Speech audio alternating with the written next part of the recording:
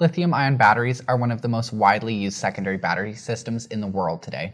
Compared to other rechargeable batteries, such as nickel cadmium and nickel metal hydride batteries, lithium ion batteries feature higher energy densities, higher operating voltages, limited self discharging, and lower maintenance requirements. However, the battery technology has a major flaw.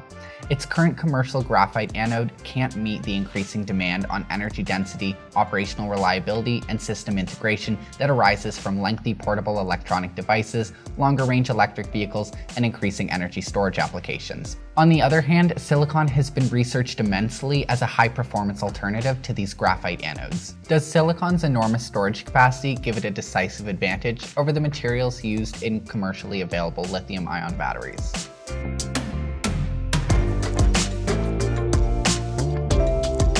Lithium ion batteries are composed of three main parts, an anode, a cathode, and a lithium salt dissolved in an organic solvent.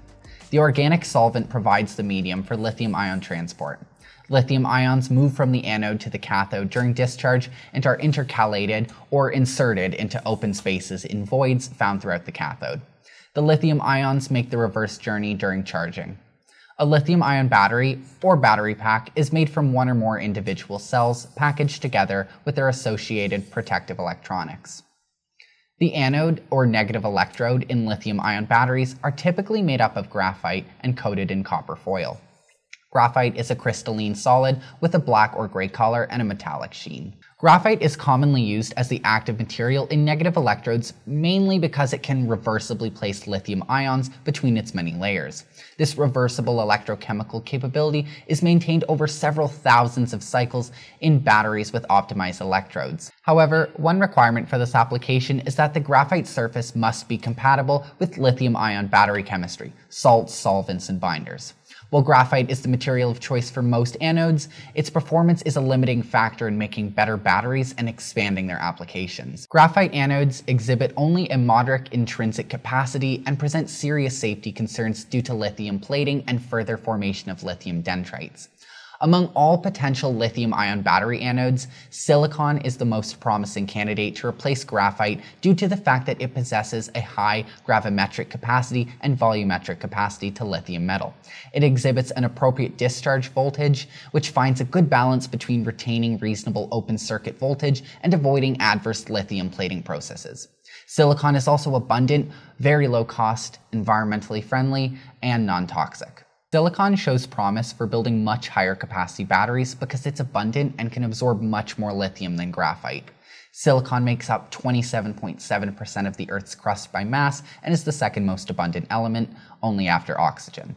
It does not occur uncombined in nature, but occurs chiefly as oxide, silica, and as silicates. The oxide includes sand, quartz, rock crystal, amethyst, and opal. The silicate forms include asbestos, granite, feldspar, clay, and mica. In order to use silicon in lithium ion anodes, the compound has to be purified and processed into nanoparticles. High purity silicon is produced commercially by reducing sand with carbon in an electric furnace. In the electronics industry, it is prepared by the thermal decomposition of ultra pure trichlorosilane, followed by recrystallization.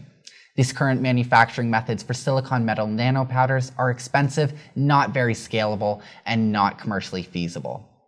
A recently proven carbothermic process called the PureVap Quartz Reduction Reactor, or QRR for short, has successfully produced and transformed purified quartz into high purity silicon metal in one step. Engineering plans have already been finalized that will upgrade HPQ Silicon's PureVap QRR into a PureVap reactor. The reactor would enable the low cost transformation of melted silicon metal into spherical nanopowders and nanowires. These spherical silicon metal nanopowders will allow the manufacturing of high performance lithium ion batteries using silicon metal anodes. This will be needed to deliver on promises of an almost tenfold increase in the specific capacity of the anode, inducing a 20 to 40% gain in the energy density of lithium ion batteries. By simplifying and standardizing the process used to convert silicon into nano-sized particles, the market potential of silicon anode batteries and the products which could potentially utilize them can be vastly expanded. The latest lithium ion batteries on the market today are likely to extend charge to charge life of phones and electric cars by as much as 40%. This leap forward, which comes after more than a decade of incremental improvements, is happening because developers have started working towards replacing the battery's graphite anode with ones made from silicon. If you found this quick insight informative, please consider subscribing below, and as usual, we welcome your comments. Also, head over to pvbuzz.com and join the newsletter to be notified when a new insight becomes available.